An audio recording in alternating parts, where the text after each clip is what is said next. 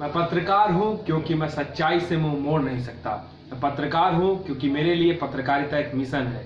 मैं पत्रकार हूँ क्योंकि मैं गरीबों की आवाज़ बनना चाहता हूँ। मैं पत्रकार हूँ क्योंकि सिस्टम तक गरीबों की आवाज़ पहुँचाने का ये सरल माध्यम है।